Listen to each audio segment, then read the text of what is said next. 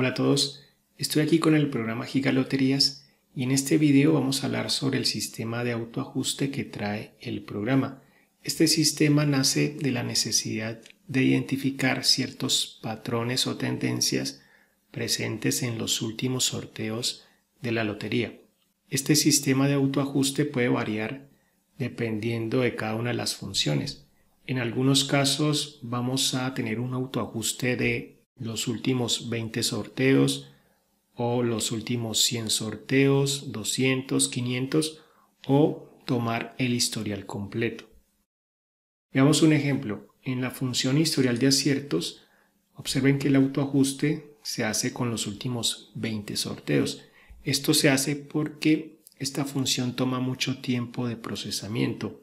Lo que hace el programa es irse 20 sorteos atrás recalcular la frecuencia que había en esa fecha y después verificar si los números del sorteo siguiente pertenecían a las casillas que había calculado el programa para la fecha anterior.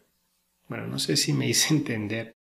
Y bueno, se podría tal vez mostrar los últimos 50, 100 o el historial completo, pero eso pues le tomaría muchísimo tiempo a la computadora. Entonces se prefiere mostrar solamente los últimos 20. Recuerden que esta función simplemente lo que quiere mostrarnos es que los números que están en las casillas del programa realmente están cayendo en los sorteos de la lotería. Otras funciones pueden utilizar los últimos 500 sorteos para buscar patrones. Digamos que estos números de autoajuste nacen de las pruebas que se hicieron en el desarrollo del programa. Y para comprobar la importancia del sistema de autoajuste, vamos a hacer un ejemplo eligiendo números sin autoajuste y después utilizando el autoajuste del programa Gigaloterías.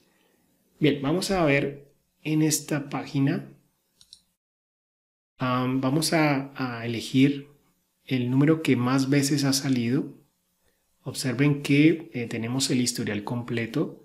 En Gigaloterías también tenemos el historial completo, 1304 sorteos.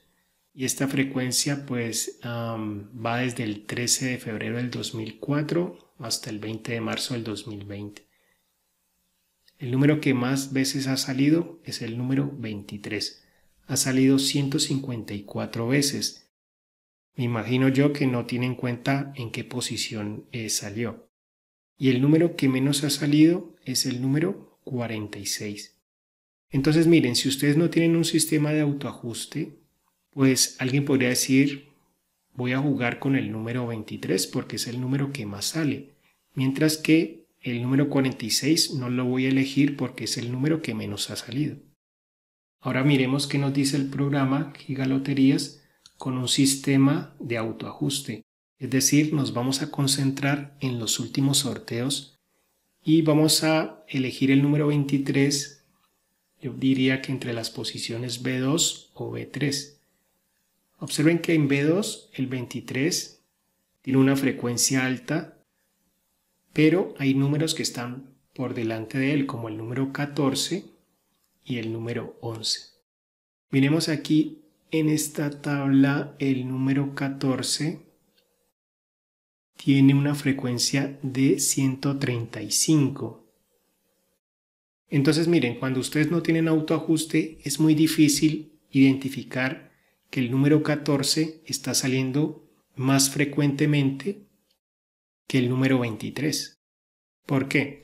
Porque para que el número 14 alcance al número 23, pues tendría que estar saliendo sorteo tras sorteo para que uno pueda identificar que este número se está acercando rápidamente al número 23. Entonces va a ser muy difícil identificar esa tendencia. Otro número sería el número 11, que ha salido 132 veces.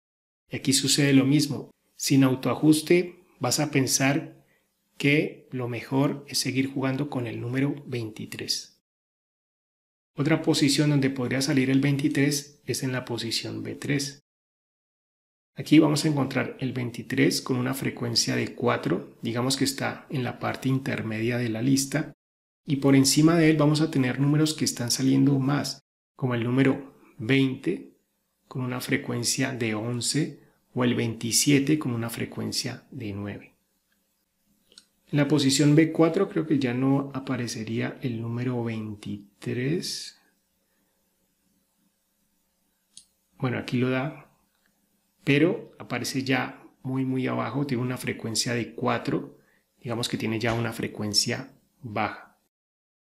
Ahora veamos qué sucede con el número 46, que corresponde más a la posición B5.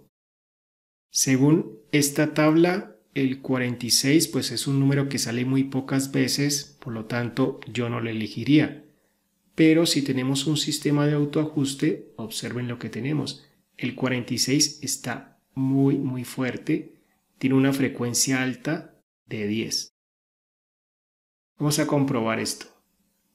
Posición B5. Aquí tenemos el 46. Salió aquí. También salió aquí. Y volvió a salir aquí. Observen que sin un sistema de autoajuste nunca te vas a poder dar cuenta de esta tendencia. Miremos el ciclo de aparición de ese número 46. Vamos a la posición B5. Y el 46 tiene un ciclo de aparición de 9. Es decir, que cada 9 sorteos el número 46 está apareciendo en la posición B5. Pero algo más interesante, gracias al sistema de autoajuste vamos a poder identificar cuando el número 46 comienza a salir menos y se ha reemplazado por otro número que comienza a tener una frecuencia más alta.